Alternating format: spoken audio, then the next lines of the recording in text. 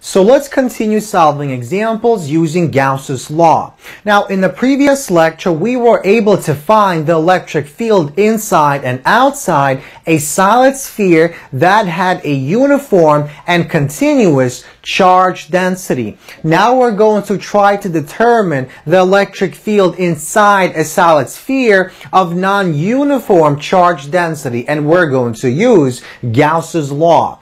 Now, suppose that we have a solid sphere that has an electric charge that is distributed unevenly and non-uniformly.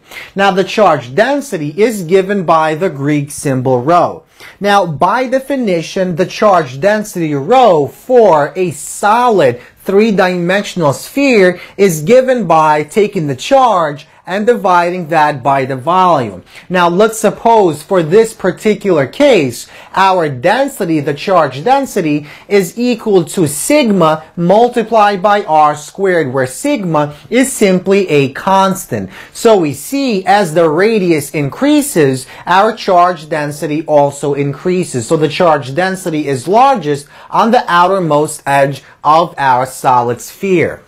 Now, in part A, we want to find our sigma in terms of the total charge given by Q. So let's suppose this entire solid three-dimensional sphere has a charge of Q and a radius given by R naught. So we essentially need to do part A in order to do part B. So let's begin with part A. So in the first step, we essentially want to divide our solid sphere into thin concentric shells of thickness given by dr. So infinitely small thickness dr. One such example of a concentric shell is shown in the following diagram. This particular example has a radius given by r and a thickness given by dr. Now, the surface area of this three-dimensional shell is given by multiplying 4 pi multiplied by r squared. And if we multiply the surface area of this particular shell and multiply the surface area by our thickness dr, well, that will give us our volume. And because our thickness is infinitely small, the volume will also be infinitely small. So remember, for this part, for part A, we want to essentially find our charge in terms of our density. So to find the charge of this particular concentric shell, we have to take the density of that shell and multiply the density by the volume, and that will give us the charge. So for this particular case, to find the charge of this particular concentric shell, we multiply the volume by our density. Now to find the total uh, to find the total charge of this entire region, we simply have to integrate, sum up all the charges of all these different concentric shells.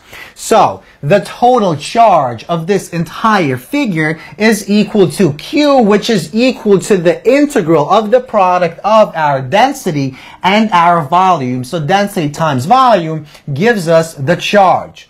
Now, we can replace our density with our sigma multiplied by r squared because remember, we want to find sigma in terms of q. So we want to get rid of our density and plug in sigma multiplied by r squared. Now, from this step, we know the volume of one such concentric shell is equal to the product of the surface area and dr. So, we replace dV with this quantity and we get the following result. And now we integrate beginning at our zero point at the center of the solid sphere and ending at the edge. So ending at our radius R naught. So 0 to R naught and we integrate this whole guy. Now notice we can bring out our constants and we have 4 pi sigma. We integrate r to the fourth power dr from 0 to r naught. So we actually integrate, we evaluate our integral, and we get 4 pi sigma r naught to the fifth power divided by 5 is equal to the total charge q found on this solid three-dimensional sphere. Now, we take this equation, we rearrange it, and we solve for our sigma. So sigma is equal to 5 multiplied by q divided by 4 pi r naught to the fifth power. So that completes part A.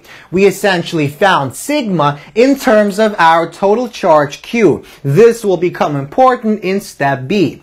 In step B, calculate the electric field at points inside our sphere. So we want to use Gauss's law. And to use Gauss's law, we have to choose a certain region. So let's suppose we want to find the electric field at points on the surface of the sphere with radius r as shown in the following diagram. So we choose a certain sphere inside our solid sphere and that chosen sphere is shown by the green outline. So this is our three-dimensional sphere. It has a radius given by R naught. Now, in the first part of this question, we have to essentially calculate what is the charge that is enclosed in this green spherical region that we chose. That will become important when we find the electric field. So, let's suppose our charge enclosed is given by Q enclosed and that is equal to, well, we have to integrate. Remember, to find a charge, we take the volume and multiply by the density. So the charge enclosed in this particular region is equal to the integral of our density multiplied by dv from 0 to r, where r is the radius of this spherical region.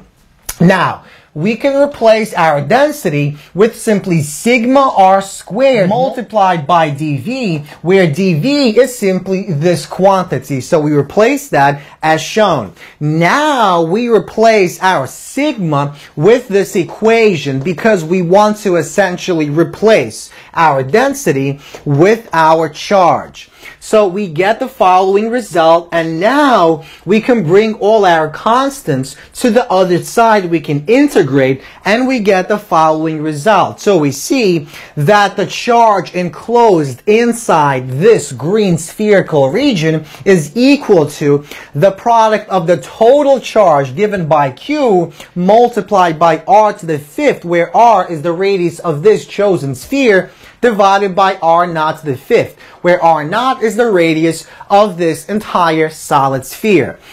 So we hold on to this for just a moment. Now we apply Gauss's law. So we chose our region and now we apply our law. So the net electric flux, according to Gauss's law, is equal to the closed integral of the dot product of the electric field and our infinitely small area A. Now, notice because of symmetry of this chosen sphere, the electric field at every single point on this green surface is exactly the same and it's perpendicular to that surface and it points in the same direction as dA. So that means the angle between vector dA and vector E will be zero.